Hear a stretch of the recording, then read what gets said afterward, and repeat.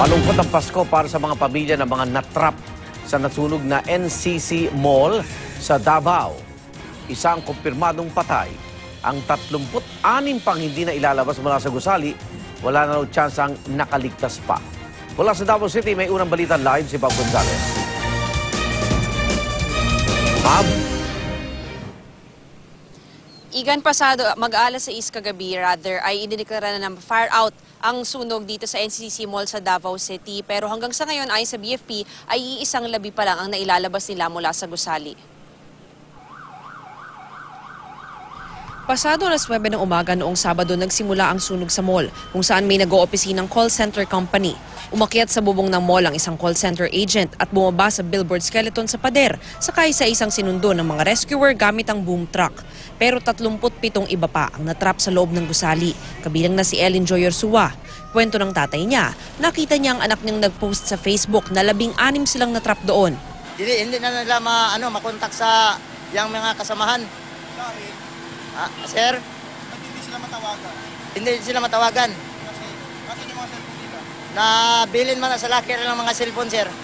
Ang pamilya ni Alexandra Moreno Castillo, inabutan pa naming nagdarasal kahapon. Oo, nag-abala siya. She was trying to send all the people out.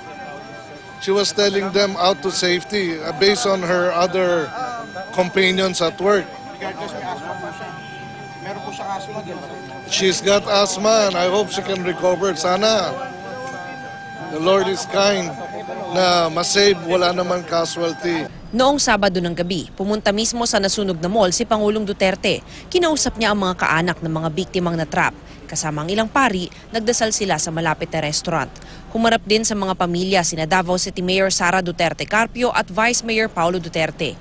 Kapansin-pansin naman sa ilang larawan na nagpupunas ng mga mata ang Pangulo. Mismo ang Pangulo ang nagsabi sa mga kaanak na malabo nang may nakaligtas. Kinumpirma yan kahapon ng umaga ni Mayor Sara. They were told na the chances of survival is uh, zero. Under control na ang sunog kahapon ng umaga. Mula sa Himpapawid, kita ang laki ng pinsalang inabot ng mall dahil sa magdamagang sunog. May mga usok pa na sumisingaw sa iba't ibang bahagi ng gusali at bumigay na ang ilang bahagi ng bubong. Sinimula na rin pasukin ang fourth floor ng mall. Kahapon, isang labi ang natagpuan ng otoridad. Sa Southern Philippines Medical Center dadalhin ang mga labi ng biktima. Nakahanda na ang 37 kama para sa processing at identification ng mga katawan.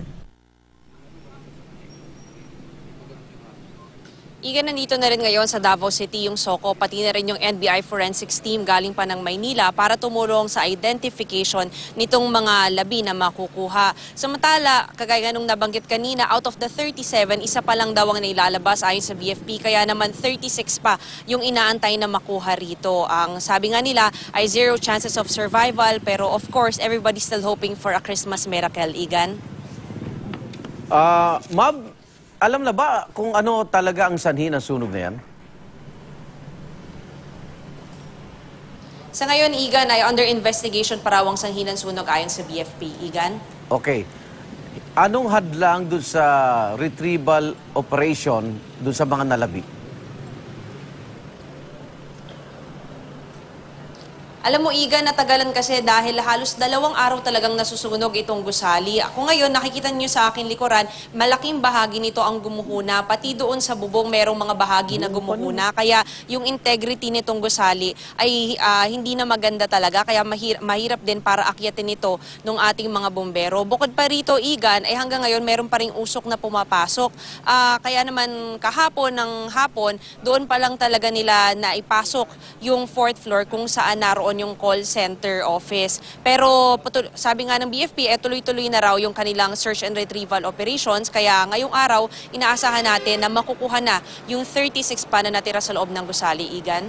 Yung may-ari ba ng establishmento ah, nakipag-ugnayan na sa mga kamag-anak na naulila?